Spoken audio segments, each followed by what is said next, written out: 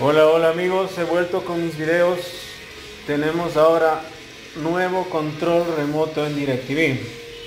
La forma de configuración no cambió. El código según la marca de TV sí, pero verán que continúa siendo muy fácil el proceso. Los que han mirado mis videos, mis tutoriales, saben que los pasos son muy simples. En el control remoto tenemos una luz verde, indicador del mando. Presionamos cualquier botón y pueden ver que la luz enciende. ¿Sí?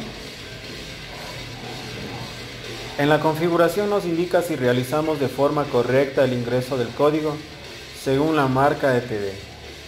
En este caso el video, el tutorial, va dirigido a la marca TCL y el código es 464. Ubicamos el botón Mute y Select.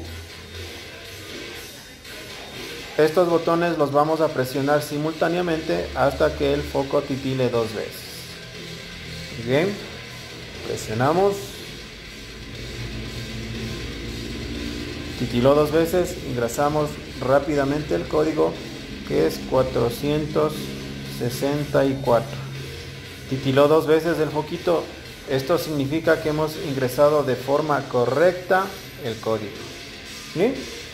Recuerda, por cada marca hay un código. Estoy realizando videos con las marcas más comunes.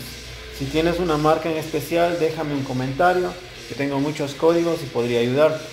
El proceso siempre será el mismo. Lo que cambia es el código. Si te ayudó mi video, recuerda dejarme un like, suscríbete a mi canal.